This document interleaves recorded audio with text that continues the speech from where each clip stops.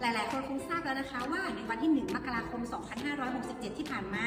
รถรุ่นใหม่จะต้องเป็นมาตรฐานยูโร 5 มาตรฐานยูโร 5 คืออะไร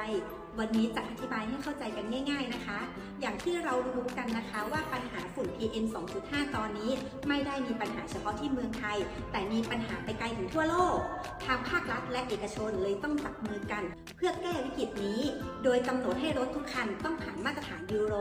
5 มาตรฐานยูโร 5 การปล่อยมลพิษในด้านใดบ้างหลักๆจะมีอยู่ 4 ชนิดค่ะ 1. PM หรือฝุ่นละออง 2. กลุ่มไนโตรเจนออกไซด์ 3. คาร์บอนมอนอกไซด์ และ 4. ไฮโดรคาร์บอน และเครื่องยนต์ที่ได้รับผลกระทบมากที่สุดคือเครื่องยนต์ดีเซลค่ะ เพราะต้องติดตั้งตัวกรองฝุ่นละอองที่เครื่องยนต์ทำให้ต้นทุนสูงขึ้น แต่ไม่ต้องกังวลไปนะคะ ทางอีซูซุของเราให้ลูกค้าซื้อในราคาเดิมไปจนถึงวันที่ 1 เมษายน 2567 แล้วมาตรฐานยูโร5มีดีอะไรล่ะ 1. ทำให้เครื่องยนต์แรงขึ้น 2. ทำให้รถประหยัดน้ำมันยิ่งขึ้น 3. ทำให้มลพิษน้อยลง 4. เป็นมิตรกับสิ่งแวดล้อม รีบมาจับจองก่อนที่ราคาจะขึ้นนะ